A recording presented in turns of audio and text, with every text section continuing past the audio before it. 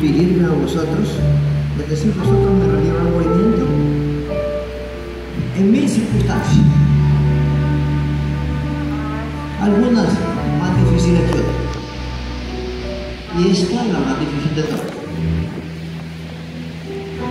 No sé hasta dónde puede dirigir la palabra, pero si es por mí, se lo voy a dirigir hasta el final. No necesito decirlo, cada uno de vosotros sabe. Cierto. Cada uno sabe que tengo desgarrado el corazón. Pero yo no estoy educado para vencerme antes del tiempo.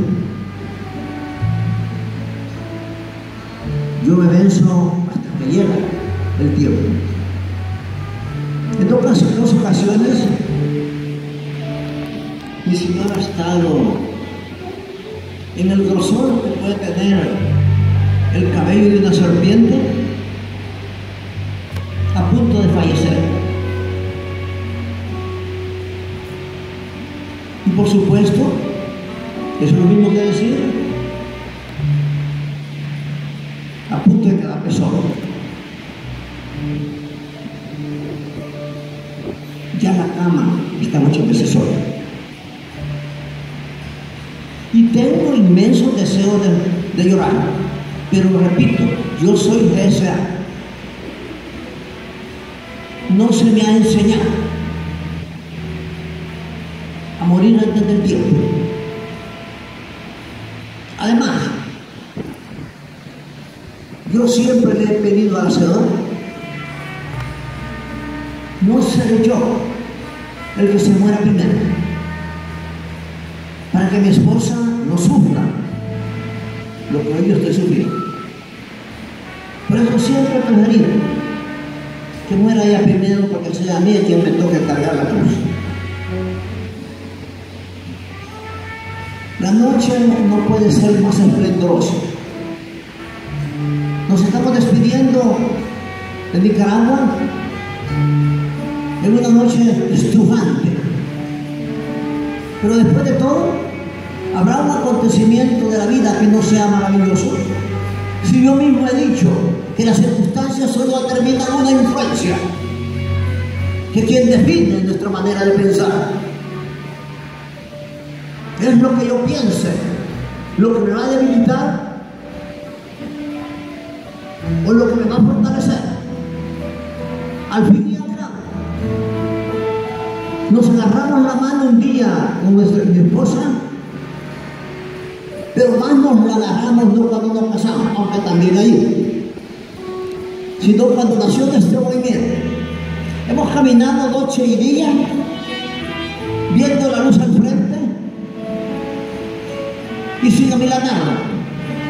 ¿Por qué se diría de ser hoy? Me muero por llorar, pero quien decide soy yo. He dicho que la mente viene para que la manejemos, no porque nos maneje a nosotros. Y si siempre he dicho que somos de paradigma, es porque somos de modelo. Y somos nosotros los que tenemos que presentar el modelo. Que siga y se inicia, quizás pocos años. No sé cuánto podré soportar.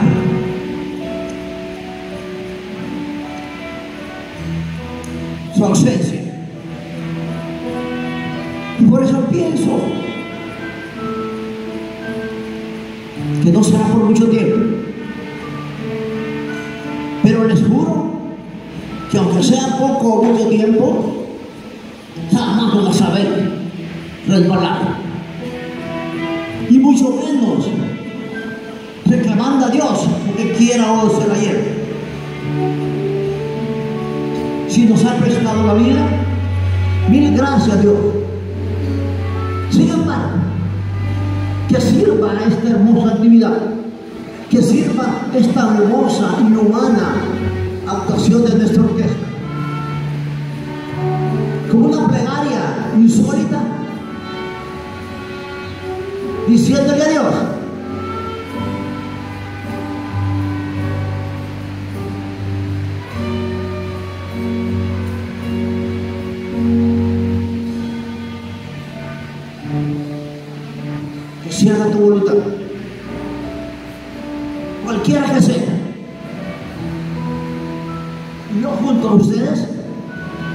yo junto a nuestra hermosa orquesta, nuestras sagradas cantantes, diremos muchas gracias. Nicaragua entonces, si Dios escogió esa noche en este bello país, en este dinámico país, en esta parte de nuestro movimiento que tiene una fortaleza sin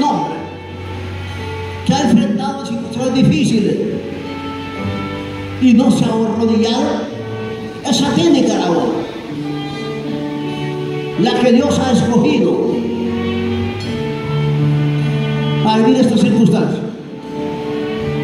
Ya murió mi padre, ya murió mi madre, ya murió un hijo mío, ya murió un hermano mío, ya murió